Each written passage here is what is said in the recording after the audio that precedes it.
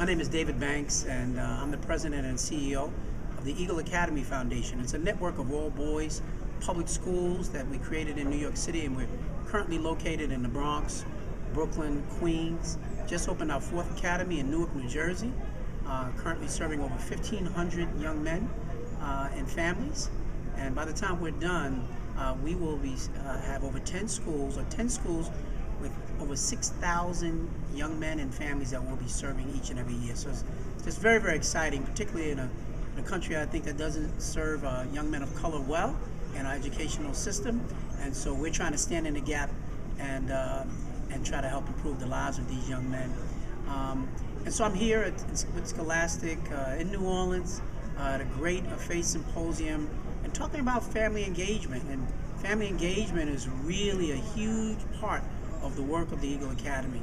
Um, we believe that young people cannot be successful without their families being engaged in that process.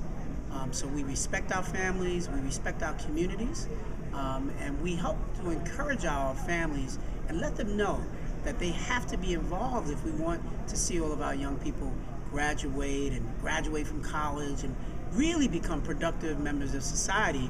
Um, it will parents are going to have to be involved in that process. So we do a number of things um, to pull our parents in, um, but we, we engage them very early on, before the students are even admitted to our school.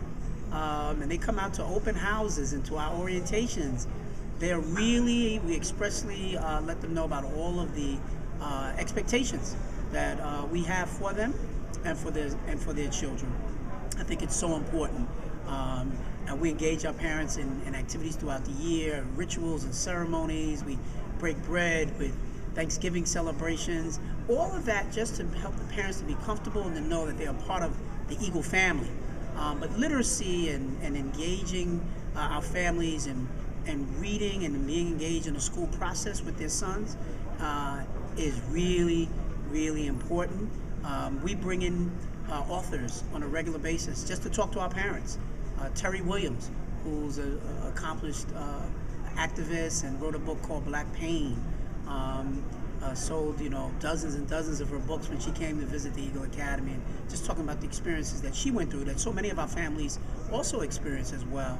Um, uh, but just encouraging our families to really be involved on a day-to-day basis, help with the homework as much as they can, um, but really be there to be a real role model uh, we've had parents who've gone back to college just because they themselves have been inspired by what their own children are learning in school. And uh, I think nothing makes me happier than to see the parents engage in their own self development um, as a result of uh, the engagement of, at the academy.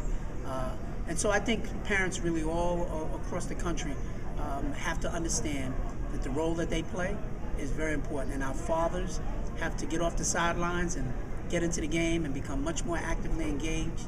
Um, and to know that so many of the answers that we're looking for are through reading a book.